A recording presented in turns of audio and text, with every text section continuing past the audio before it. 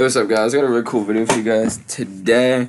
So, I was doing some Act 6, like, exploration, Act 6 Chapter 3, but I'm trying to do paths I know I can, like, pretty much, like, reliably one-shot, so I don't have to, um, use units, because I am saving units for my Abyss run, which you've always saw, I have, like, 2,500 or something right now. I'm saving up to, like, about 5k-ish, maybe 4.5k. But I'm in the 6.3 Iron Man Infinity War, um, quest, I think it is called Winter Morning, and this fight is a bitch.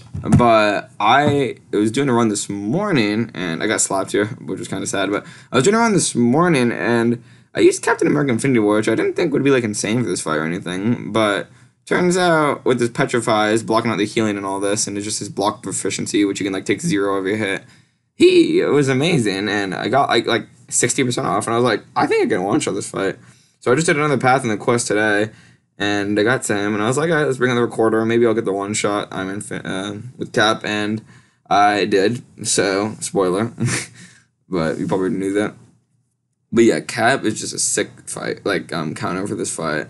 I actually didn't think I was gonna be able to one shot this fight, but he has a node on him, which is like arc overload every like whatever certain amount of time.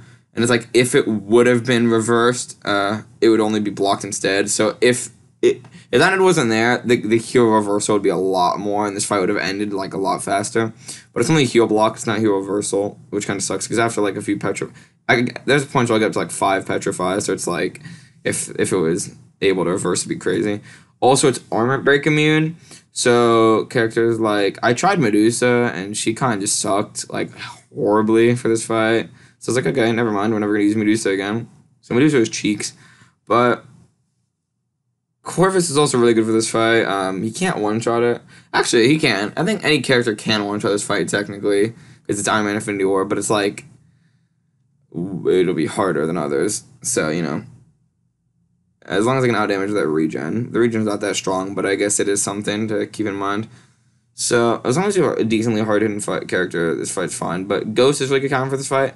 But right now, I'm thinking Captain America Infinity War might be number one counter for this fight because like he's just insane. He's just he's so good with the, the guaranteed zeros on everything. It's like makes him such a good character. I love Captain America Infinity War. And at one point, you're gonna see me get sh- uh, slapped, and I go down to like really low. So I was scared the one shot potential would die, but we survive with like a thread, so that's cool. You're gonna see that I think coming up. I don't know when, but should be sometime soon. Right now we're at 63 hits. Yeah, it is about to happen. I don't remember where. I know you do another special too. That's 30,000 damage. Feels very nice to throw off. Right now, I was slowing down my combo. I don't know why. Right there, I got hit. Now down as like low as him. So I was like, okay, we gotta play perfectly now. We already m- made two mistakes, which was kind of sad. But you know, you know the rank fives, they got big health pools, so we're fine.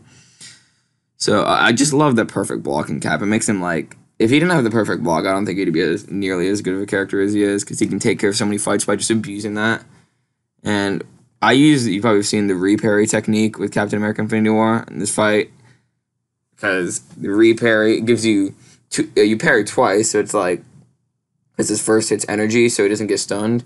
So you get two petrifies and two weaknesses, whatever you have, and both blocks are like zero damage. So you know it's just I love this character. He's just so good for the. He's just such a good character.